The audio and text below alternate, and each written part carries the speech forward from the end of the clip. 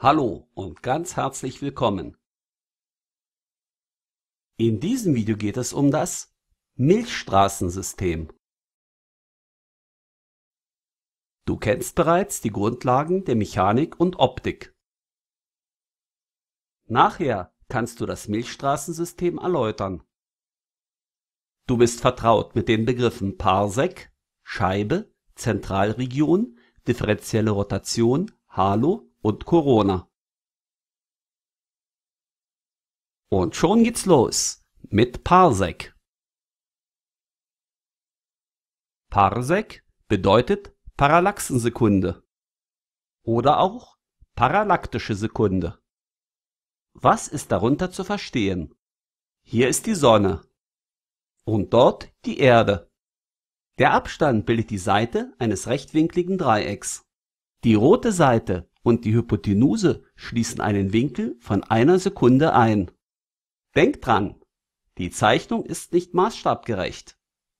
Eine Sekunde ist fast nichts. Wenn diese Bedingungen erfüllt sind, ist die Länge der roten Seite ein Parsec. Ein Parsec sind 3,26 Lichtjahre, das heißt die Strecke, die das Licht in 3,26 Jahren zurücklegt. Das sind gigantische 3,09 mal 10 hoch 16 Meter.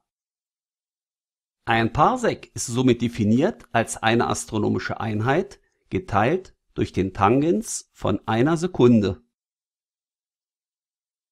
Eine Sekunde ist die Wenigkeit von einem Grad geteilt durch 3600. Und eine astronomische Einheit ist gerade der Abstand zwischen Sonne und Erde also etwa 150 Millionen Kilometer. Und nun zum eigentlichen Thema, die Milchstraße. Seit dem Altertum kennt man ihn. Den typischen Lichtstreifen am Nachthimmel. Aber erst 1609 erkannte Galilei. Es handelt sich um viele leuchtende Himmelsobjekte. Der Name Milchstraße entstammt der griechischen Mythologie. Zeus wollte den mit einer sterblichen gezeugten Knaben Herakel seiner Gemahlin während des Schlafs zur Brust geben. Herakel saugte an Heras Brust so heftig, dass diese erwachte und ihn von sich stieß Ein Strom von Milch ergoss sich über das Universum. So entstand die Galaxis vom griechischen Wort für Milch, die Milchstraße. Die Milchstraße ist eine kosmische Großstruktur. Sie wird durch gravitative Kräfte zusammengehalten. In der Milchstraße gibt es etwa 100 bis 300 Milliarden Sterne. Einfachsterne Doppelsterne, Mehrfachsterne und Sternenhaufen. Außerdem findet man riesige Mengen interstellarer Materie. Hier habt ihr noch einmal das Titelbild mit einer realistischen Darstellung der Milchstraße. In einem vereinfachten Modell möchte ich euch die Abmessungen der Milchstraße in Kiloparsec zeigen das ist die Milchstraße von oben. Sie ist stark vereinfacht, etwa kreisförmig. Der Durchmesser beträgt ungefähr 30. In der Vorderansicht hat die Milchstraße so ein Aussehen. In der Mitte beträgt der Durchmesser etwa 5 und an den Rändern jeweils 1. Der Abstand vom Anfang bis zum Ende ist natürlich wieder 30. Die Milchstraße hat die Form einer Scheibe. Sie sieht aus wie ein Diskus beim Sport. Kommen wir nun zu Scheibe und Zentralregion.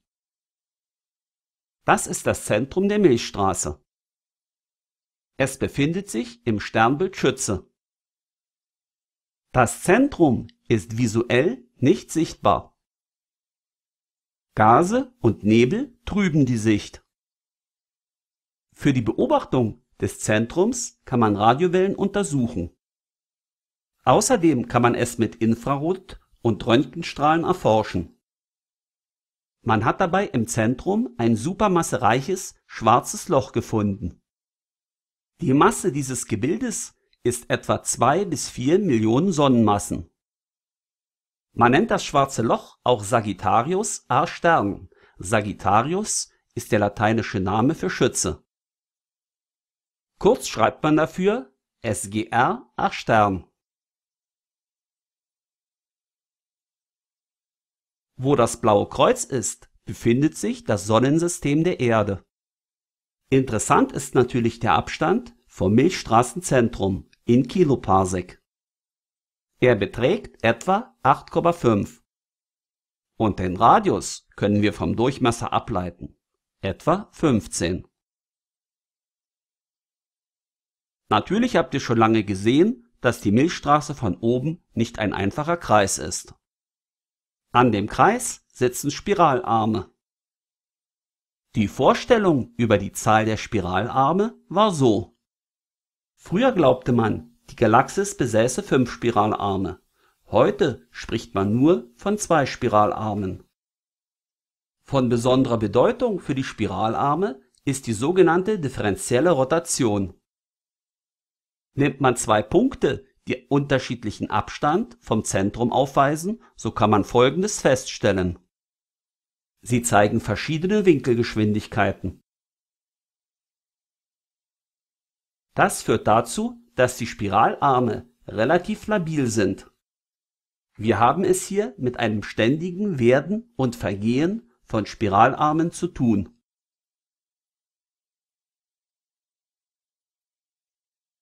Kommen wir jetzt zur Zentralregion. Man kann sie sich als abgeflachte Kugel vorstellen. Die Zentralregion reicht nicht in die Spiralstruktur hinein.